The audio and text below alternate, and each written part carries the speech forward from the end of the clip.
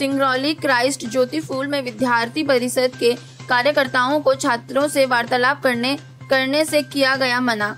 बताया जा रहा है कि जब क्राइस्ट ज्योति स्कूल के प्रिंसिपल को विद्यार्थी परिषद के कार्यकर्ताओं ने ज्ञापन देने गए तो उनके द्वारा ज्ञापन लेने से इनकार कर दिया गया। जबकि सभी विद्यालयों में विद्यार्थी परिषद के कार्यकर्ताओं को अनुमति दे दी गई थी, लेकिन क्राइस्ट ज्योति में नहीं दी गई। जिस बात को लेकर विद्यार्थी परिषद कार्यकर्ताओं से क्राइस्ट ज्योति के प्राचार्य प्राचार्य पर नाराज़गी देखने को मिली।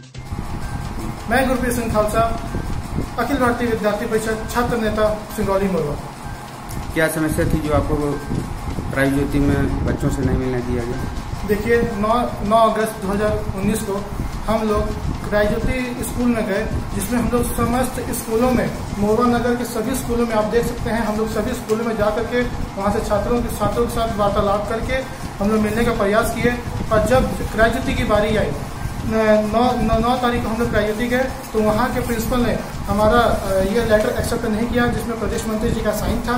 और हमने, हमसे ये कहा कि आप हमारी विचारधारा से नहीं हैं और हमारी विचारधारा का अपमान किया। वहाँ के छात्र हमसे अक्सर मिलना चाहते हैं। वहाँ की जितनी भी युवा तरुणाई है, हमसे हमेशा कहती है कि आप, भाई साहब, आप हम लोग से आके मिलिए। लेकिन जब हम लोग जब प्रिंसिपल से मिलने के लिए, जब प्रिंसिपल से परमिशन लेने के लिए गए तो वहाँ के प्रिंसिपल ने हमें मना कर दिया।